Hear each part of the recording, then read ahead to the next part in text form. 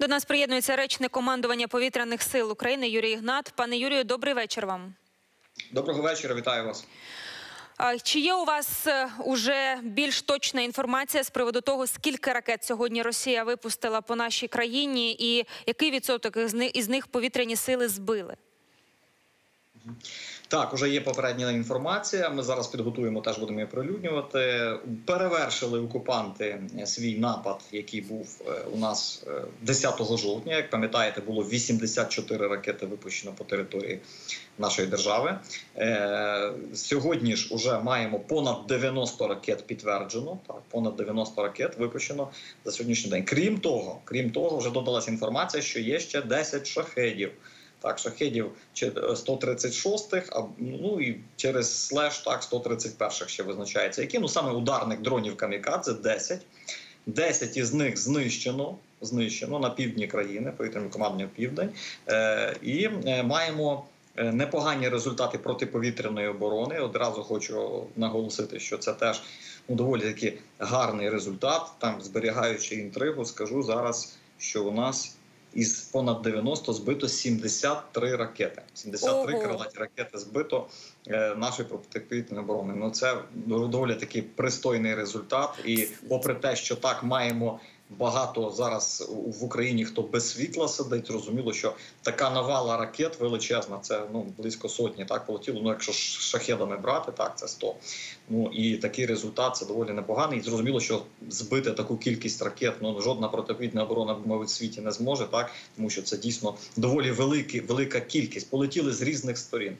Полетіли з Каспію, запускали так бомбардувальники стратегічної авіації Ту 95 е, які зазвичай звідти пускають ракети, а також з району Волгодонська Ростовської області. Ракети Х-101 або ж Х-555, фактично такі однотипні ракети, е, крилаті ракети. Повітряного базування, які летіли теж з різних сторін, в різних напрямках по різних областях. Основна маса ракет полетіла саме з цих бомбардувальників. Решта ж ракет полетіли з е, е, Чорного моря, з кількох кораблів. Це ракети морського базування типу Калібр, якими противник теж завдавав ударів по нашій інфраструктурі. Знаємо, що е, не лише інфраструктура, але й уражено, на жаль, і будинки. Так загинули. Е, Можливо, не загинули. Мається в увазі, що постраждали мирні мешканці. Вже дані будуть уточнюватися від е, місцевої влади.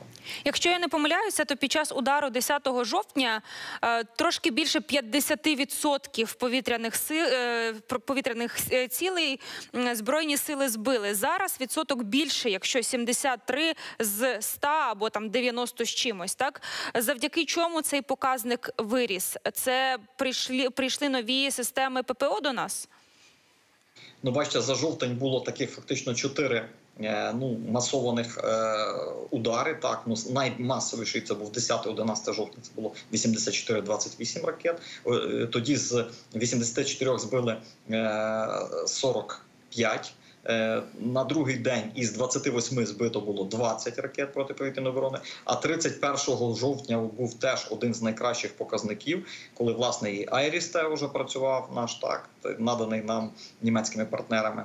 І, ну лише одна єдина установка, але все одно показала такий 100% фактично результат. Е, Тоді збили. е, 45 з 55 ракет 31 жовтня.